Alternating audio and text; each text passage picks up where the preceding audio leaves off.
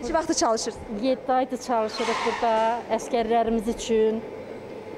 Nədir sizin çörəyin fərqi? Çörəyin fərqi Çörəyin fərqi odur ki, nə Niyə belə ətirlidir? Niyə belə dadlıdır? buranın havasından, suyundan, insanlarından, O insanlardan biri elə Hökmə xanımın özüdür. Əli dadlı, xasiyyəti duzlu, özü Kəlbəcərdəndir.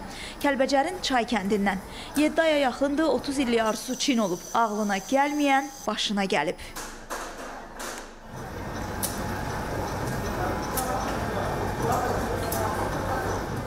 öz balalarımız üçün nətər bişiririk, burada da elə can yandırırıq, canı dildən işləyirik. Hər hər e, yanı, hər şəraitimizdə var. Hər qayğını göstərirlər, biz də işləyirik. Yorulmayasınız. Sağ olun, təşəkkür eləyirəm. Kəlbəcərdə hərbi hissələrin şəxsi heyətinin gündəlik isti çörək təminatı bu bölmə tərəfindən həyata keçirilir. Çörək hərbi qulluqçuların qida təminatında böyük rol oynayır. Ona görə də bölmə müasir avadanlıq və inventarlarla təchiz olunub.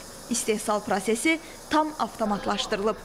Bölmə gündə 4 ton çörək istehsal etmək potensialına malikdir tam potensialı ilə işləyə bilməsi üçün çörək sexinə zəruri kommunikasiya xətləri çəkilib, fasiləsiz elektrik enerjisi üçün generator quraşdırılıb. Kəlbəcər çörəyinin dadı, Kəlbəcər çörəyinin ətri, Kəlbəcər çörəyinin yumşaqlığı, keyfiyyəti, fərqi nədir deyə soruşuram. Heç demə, bu fərq Kəlbəcərin dağlarından süzülən, bulaq suyu ilə yoğrulan xəmirdəymiş. Kəlbəcərin bu başından o başına yayılan çörək ətri burada həyatın, yaşayışın, gələcəyin olduğunun xəbərçisidir. Çörək tarix boyu güclü orduların əsas qidası olub. Çörək əskər üçün yalnızca qida deyil, ruh yüksəkliyi deməkdir. Qədim türklərdə deyərdilər ki, əskərin torbasında çörək, qumqumasında su varsa Afyondan girər, İzmirdən çıxar.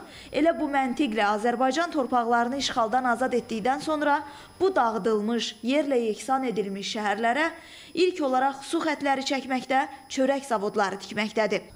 Gözümüzlə gördüyümüz bu şəraitə yaxşılaşdırılan sosial məişət səviyyəsinə, yüksək qida təminatına görə bu gün Azərbaycan əskəri Qarabağdan girir, Zəngəzurdan çıxır.